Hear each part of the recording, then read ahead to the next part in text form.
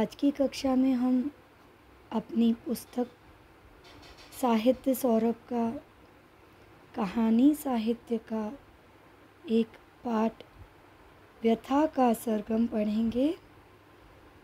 जैसा कि नाम से ही दृष्टिगोचर है, व्यथा अर्थात पीड़ा, कष्ट और दुख से भरा हुआ यह पाठ है। रचयिता अमृत राय हैं, जो प्रसिद्ध लेखक, हिंदी साहित्य के प्रसिद्ध लेखक प्रेमचंद जी के सुपुत्र हैं। व्यथा का सरगम में लेखक ने विभाजन के समय की कहानी बताई है। विभाजन, अर्थात जब हमारा देश भागों में बटा था, जहाँ विभाजन की घोषणा के उपरांत फैली सांप्रदायिक सांप्रदायिकता के जहर के प्रभाव को लेखक दर्शाना चाहते हैं देश विभाजन के दौरान जो सांप्रदायिक दंगे हुए एवं उससे जो असुरक्षा और दहशत का वातावरण बना, इसी भयानक स्थिति के कारण लोगों को पहली बार यह एहसास हुआ कि अब अपना घर, समाज, देश छोड़कर जाना ही पड़ेगा। जैसे जैसे समय बीतता गया, भय का वातावरण और अधिक गहराता गया। मौत का डर लोगों में इतना बढ़ गया कि हिंदू, मुसलमान और सिख सभी को अपनी जगह, अपनी ज़मीन छोड़कर भागने पर मजबूर होना पड़ा। स्थिति इतनी विषम रही होगी। इसका अंदाज़ा इसी से लगाया जा सकता है कि विभाजन के परिणाम स्वरूप एक करोड़ बीस लाख लोग विस्थापित किए गए करीब दस लाख लोग मारे गए। लगभग पचहत्तर हज़ार औरतों को दूसरे धर्म के लोगों द्वारा अपहरित किया गया, भगा ले जाया गया। हज़ारों परिवार टुकड़े टुकड़े हो गए, घरों को जलाया गया और गाँवों को उजाड़ दिया गया। देश विभाजन के समय चारों ओर भयावह, विषाक्त वातावरण बहुत ही खतरनाक था। मनुष्य मानव वृत्ति को भूलकर पशु वृत्ति पर उतर आया था। इसी दम तोड़ती मानवता का यथार्थ परक चित्रण अमृत राय जी ने व्यथा का सरगम में किया है और इस नकारात्मक स्थिति में एक नारी की सकारात्मक चित्रित किया गया है। पाठ पढ़ लेते हैं। व्यथा का सरगम। आज अमावस की रात है। गहरी काली, नीरव, निस्तब्ध।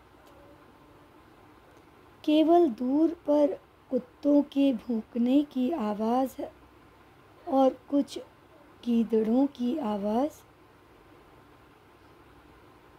मनुष्य की आवाज़ तो गाने की एकाध कड़ी के रूप में कभी कभी सुनाई पड़ जाती है। किसी रिक्शे वाले के किसी रोमांटिक फिल्मी गाने की एक कड़ी वरना सन्नाटा माहौल बहुत ही उदास है। मनुष्य की आवाज़ें बहुत कम सुनने मिलती हैं। दूर से कहीं से बजते किसी गाने की हल्की ध्वनि है। पास के ही किसी घर से शहनाई का व्याकुल स्वर आ रहा है। शहनाई भी अजब बाजा है। जो दुख, सुख दोनों में समान रूप से आदमी का साथ देता है। शहनाई के बारे में यह कह सकते हैं कि यह बाजा सुख में जब किसी की शादी विवाह हो रहा है, तब भी बजता है। और किसी के निधन पर भी उसे श्रद्धांजलि देने के लिए शहनाई के स्वर, उदास स्वर गूंजते हैं। आज न जाने क्यों सुरेश्वर, मगर आप उसे क्या जाने? आपने शायद कभी उसे बीन बजाते नहीं सुना। जब वह आँख बंद करके बीन के तारों पर अपनी उंगलियाँ दौड़ाने लगता है तो विश्वास ही नहीं होता कि यह सुरेश्वर जो सामने बैठा है, उसकी अभी उठान पर की उम्र है। उसने अभी कुल तीस बसंत देखे हैं। कहानी के प्रमुख पात्र सुरेश्वर की बात की जा रही है। उसकी उम्र तीस वर्ष है और वह बाजा बजा रहा है, बीन बजा रहा है। उसके स्वरों से प्रवाहित होने वाली व्यथा कि उस सरिता में जिसने भी एक बार नहाया, उसका रोम रोम जैसे काँप उठा। और उसे लगा, मानो अनेक पतझड़ और शिशिर बजाने वाले की अस्थि और मज्जा में जाकर बस गए हों। सुरेश्वर के बाजे से निकलने वाले स्वर इतने दुखी और व्यथित हैं कि ऐसा प्रतीत होता है कि उसने अनेक पतझड़ और शिशिर देखे हैं। यह दोनों ही मौसम बहुत ही उदास करने वाले मौसम हैं, क्योंकि एक में पत्ते झड़ जाते हैं और दूसरे में हरियाली सूख सी जाती है। उसके स्वर में इतनी नितांतता अकेलेपन का पुट था। सुरेश्वर रेलवे के एक ऑफ़िस में क्लर्क है। रेलों की गड़गड़ाहट और फाइलों की थकान को अपने बीन के स्वरों में बांधकर उसने उन्हें नया ही रूप दे दिया है। दिन भर की दौड़ धूप के बाद रात की यही शांति, रात को यही उसकी शांति का निर्झर है, यही उसका सहारा है, कवच है। मानो यह न हो तो दफ्तर की फाइलें उसे खा जाएँगी। रात को अपना कमरा बंद करके, जिससे पड़ोसियों की नींद न खराब हो, वह अक्सर बड़ी देर तक बजाता रहता है। रात को इन घड़ियों का एकांत उसे बहुत प्रिय है। वह चाहता है कि जल्दी ही सो जाए। जिसमें दूसरे रोज तक अपनी बीन में खोया रहता है और समझता रहता है कि किसी बिंदु पर पहुंचकर घड़ी की सुइयाँ अचल हो गई हैं। हमारी कहानी के नायक के बारे में बताया गया है कि रेलवे के ऑफ़िस में क्लर्क है। यह शोचनीय है कि क्लर्क की ज़िंदगी घड़ी की सुइयों के अनुसार चलती रहती है। बहुत अधिक कार्य और बहुत अधिक एकांतता। वही उबाऊ जीवन, वही निरंतर कार्य। इन सबसे छुटकारा पाने के लिए, अपने मन को बहलाने के लिए, सुरेश्वर शहनाई बजाता था और कहीं उसकी जो ज़िंदगी अचल थी, उसमें रंग भरने की कोशिश करता था। सो आज न जाने क्यों सुरेश्वर का मन उदास है। शहनाई का वह पतला स्वर खंजर की तरह उसके दिल के अंदर उतरता चला जा रहा है। एक अजीब सी वेदना एक अजीब सा दर्द उसे अपने अंदर समो रहा है। उसकी बीन आज खामोश है। आज तो वह बस सुन रहा है। शहनाई के स्वर की वह बंकिम कटार उसके अंदर उतरती ही चली जा रही है। सुरेश्वर जानना चाहता है कि अपने उतार और चढ़ाव में वह उससे क्या कहना चाहती है। पीड़ा की वह कौन सी अतल गहराई है, जिसे छू लेने का उसने संकल्प किया। अगला पृष्ठ देखते हैं। शहनाई का स्वर उसके गहरे से गहरे मन में एक अत्यंत सुंदरी, पावर्त्य युवती का आकार ग्रहण कर रहा है। यह युवती किसी क्रूर दैत्य द्वारा शापित है। उसका सखा खो गया है। उसके परिजनों ने उसे छोड़ दिया है और उसे अकेले ही अपनी व्यथाओं का पर्वत ढूंढना है।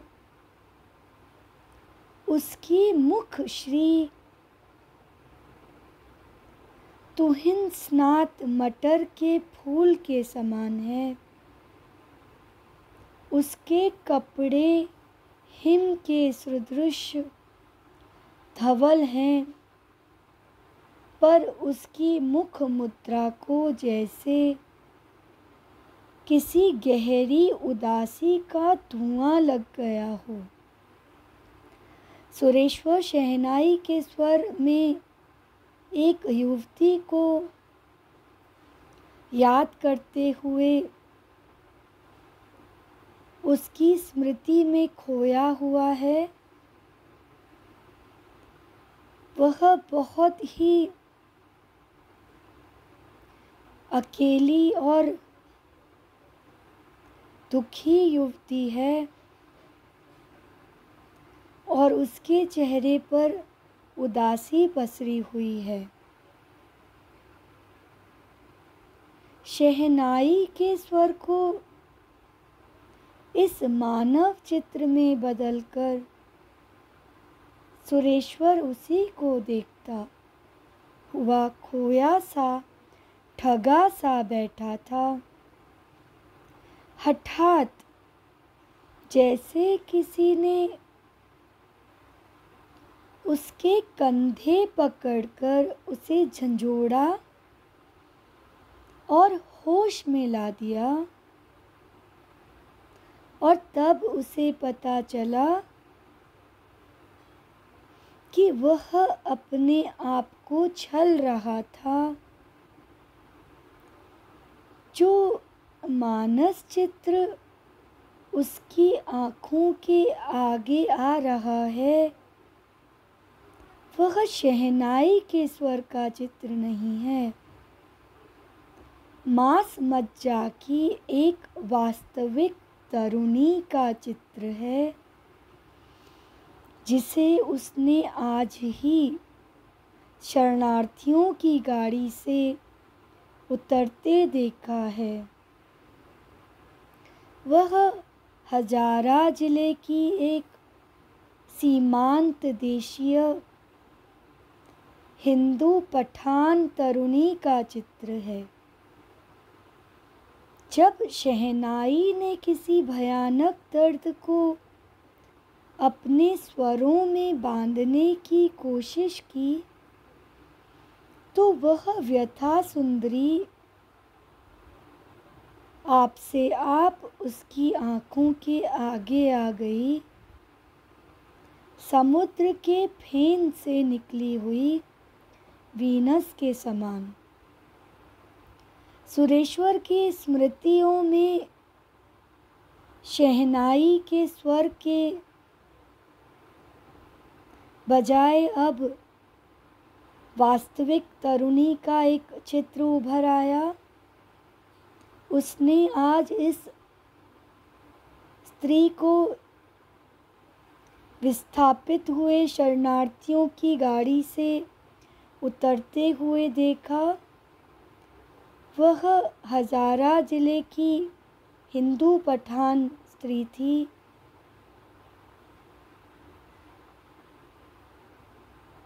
उसकी आँखों में बहुत व्यथा थी। हाँ सचमुच वीनस उर्वशी, तक्षशिला की सुंदरी। सरों के पेड़ की सी सुघड़ लंबाई। स्वस्थ यौवन से भरपूर छर हरा शरीर सीमांत के कागज़ी बादाम जैसी ही आँखें। चंदन सा गौर, सुसंस्कृत मुखमंडल। लंबी सी वेणी मगर सबके ऊपर अंग राग के स्थान पर उदासी का एक गहरा लेप, जो चेहरे के भाव को आमूल बदल देता है। उसे देखकर कोई उच्छृंखल भाव जैसे पास पर भी नहीं मार सकता। मगर उसके साथ ही साथ पूरे वक्त जैसे कोई भीतर बैठा एक बड़ी तकलीफ़ देही, कड़ी गुनगुनाता रहता है। सुरेश्वर की स्मृति में वह तरुणी बस सी गई है। वह उसकी सुंदरता का वर्णन बहुत सुंदर शब्दों में उसके मुखमंडल का बखान, उसकी लंबी सी वेणी अर्थात चोटी का बखान, परंतु उसके चेहरे पर जो उदासी के भाव हैं, वह उसे परेशान करते हैं। अगला परिच्छेद देखते हैं। सुरेश्वर ने आज ही तो उनके रहने की जगह देखी। धन्य भाग जो दूसरे, धन्य भाग जो दूसरा महायुद्ध हुआ। वरना न लड़ाई होती, न मिलिट्री की बारकें बनती। और न आज मनुष्य की पशुता से भागकर शरण मांगने वालों को टिकने का कहीं कोई ठिकाना होता? सुरेश्वर, दुख में भी सुख की कल्पना करते हुए मनुष्य की अच्छाइयों का प्रतीक यह मिलिट्री की बैरिकें थी। जहाँ पर बड़ी संख्या में शरणार्थी आकर रहे थे। शरणार्थियों को ये बनी बनाई बारकें क्यों मिल गईं, गोया इन्हीं के लिए बनाई गई हूँ। गोया उर्दू शब्द है, जैसे इन्हीं के लिए बनाई गई हूँ। इन्हीं बारकों में अपने घर बार खेती किसानी। दुकानदारी से उखड़े हुए लोग अपना सारा सामान लिए दिए पड़े थे। तीन के बड़े बक्स, मंझोले बक्स, छोटे बक्स, खाटों के पाए पाटियाँ सुतली आबाद। सब अलग अलग मोड़कर रखी हुई चटाइयाँ। एकाध बाल्टी, लोटा, थाली, कनस्तर, किसी किसी के पास अपना हुक्का भी। यही उनकी सारी गिरस्ती थी। इसी गिरस्ती के घिरे बंधे वे इस नई दुनिया में अपने लिए जगह बना रहे थे। देखिए, हम और आप इस आज़ाद स्वतंत्र भारत की संतान हैं।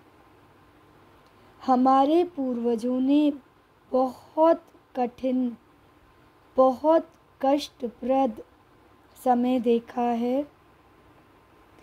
जब विभाजन हुआ था तो शरणार्थियों को अपने घरों से, अपने खेतों से, अपने ज़मीनों से विस्थापित कर दिया गया। रातों रात उन्हें मार भगाया गया। वह अपने साथ जो भी अपनी जमा पूंजी ला सकते थे, वह उठा लाए। कल्पना कीजिए, अगर कोई आपको आज कहे कि यह घर आपका नहीं, यह ज़मीन आपकी नहीं, और आपको तुरंत इसे खाली कर देना है तो जो पीड़ा, जो कष्ट क्योंकि आपको तो अपने कीमती सामान बांधने का भी समय नहीं मिलेगा। आपको कोई समय नहीं देगा कि आप अपनी गृहस्थी को बांधिए और उसे अपने साथ लेकर चलिए। बस आपको अपना घर बार, अपनी जीवन, अपनी ज़मीन बिना कुछ सोचे छोड़कर भागना पड़ेगा एक नए देश जहाँ कुछ भी आपका नहीं है। हर चीज़ दूसरों की है और आप सिर्फ़ यहाँ पर अपने प्राण बचाने के लिए शरणार्थी के रूप में बैरकों में रहेंगे, क्योंकि आपके पास तो घर भी नहीं है। इस कठिन परिस्थिति की हम कल्पना भी नहीं कर सकते, जो हमारे पूर्वजों ने भुगता है। उन्होंने यह दर्द सहा है। आगे पाठ पढ़ते हैं। बीवियाँ कुएँ से पानी ला रही थी या रोटी पका रही थी और बच्चे धूल से सने कुछ सहमे सहमे से खेल रहे थे। लोहता की खाक का मिलान, हजारा की खाक से करके यह पता लगा रहे थे कि पशुता के कीटाणु कहाँ ज़्यादा हैं और अपने जहन से उन डरावनी शक्लों को निकालने की कोशिश कर रहे थे। देखिए, नया देश था, नई परिस्थिति थी, कभी कल्पना भी नहीं की थी। बीवियाँ अपने घर के कार्यों में व्यस्त थी। बच्चे डरे से, धूल में सने, यहाँ वहाँ खेल रहे थे। और हजारा से लौटे हुए शरणार्थी सोच रहे थे कि जहाँ से आए हैं, वहाँ के मनुष्यों में पशु के कीड़े। पशुत्व अधिक था, जिन डरावनी शक्लों को वह देख कर आए थे, जिनसे उन्हें भय लगता है, वह उनके मन में तैर रही थी। अगले पन्ने पर चलते हैं। उन्होंने उनकी नादान ज़िंदगी को भी चारों तरफ़ से डर की रस्सियों से कस दिया था। कल तक हँसते खेलते, हँसी खुशी एक साथ त्यौहार मनाते इन शरणार्थियों को ये पता नहीं था कि कल उनके जीवन में इतना बड़ा, इतना दुखद, इतना कठिन परिवर्तन आने वाला है। वह तो रात को खुशी खुशी सोए होंगे, परंतु सुबह उनकी जीवन में बहुत बड़ा परिवर्तन आया। और उन्हें विस्थापित कर दिया गया। क्षण भर में उनकी ज़मीन उनसे छीन ली गई।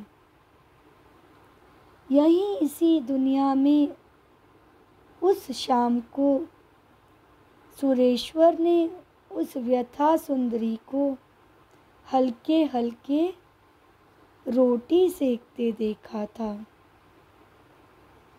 यहाँ से कथा में एक नया पात्र जो अब तक सिर्फ़ सुरेश्वर की स्मृतियों में था, वह व्यथा सुंदरी, जो कि हजारा से विस्थापित होकर, माफ़ कीजिएगा, हजारा विस्थापित होकर आई थी। वह चूल्हे पर रोटी सेकते हुए दिखी और नायक के मन में उसकी स्मृति में घर कर गई। इसी पाठ को हम आगे पढ़ेंगे अगली कक्षा में। आज का समय यहीं समाप्त होता है।